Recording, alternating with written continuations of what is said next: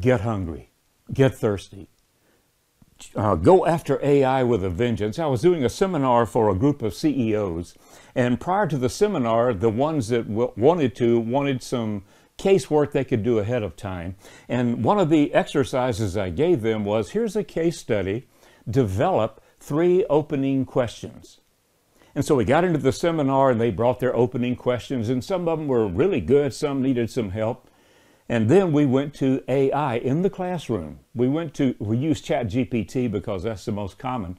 We went there, and the CEO said, I spent three hours developing my three questions. AI just did it in 15 seconds and did a better job of it.